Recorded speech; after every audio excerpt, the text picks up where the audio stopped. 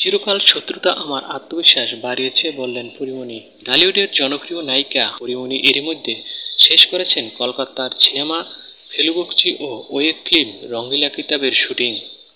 অভিনয়ের ব্যস্ততার মধ্যেও সোশ্যাল মিডিয়ায় বেশ সরব থাকেন আলোচিত এ নায়িকা।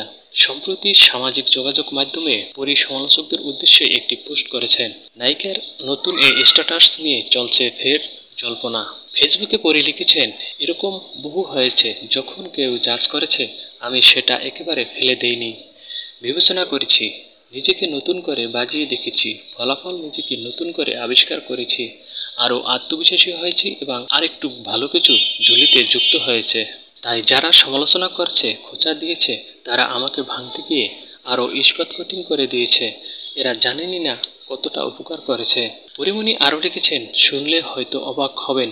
চিরকাল শত্রুতা আমার আত্মবিশ্বাস বাড়িয়েছে। কিংবা হয়তো পুরো শত্রু না, কিন্তু বন্ধুও না, এমন লোক যাদের নেগেটিভ কমেন্ট আমার দিকে ধেয়ে আসছে বিশ্রী সমালোচনা কিংবা জাজমেন্ট এসব শুনে আমার মন খারাপ। মেজাজ খারাপ হয়েছে কি? হয় নাই, কিন্তু আমার ডেডিকেশন আর আত্মসচেতনতা ধাই ধাই করে বেড়েছে। এই এদের জন্যই এরা আসলে চিরকাল আমার উপকার করতে চেয়ে উপকার করে ফেলেছে। আহা, যদি জানতাম। স্ট্যাটাসের মাধ্যমে যারা নেতিবাচক বা তির্যক মন্তব্য করেন, তাদের স্বাগত জানানোর পরামর্শ দেন তিনি। তিনি মনে করেন, সমালোচকেরাই এগিয়ে যেতে সাহায্য করবে। অবশ্যই পরের পোস্ট করা লেখাটি বেশিরভাগ অংশ ধার করা। নিজের সঙ্গে মিল খুঁজে পেয়ে লেখক মুনমুনের ফেসবুক পোস্ট কপি করেছেন পরিমণি।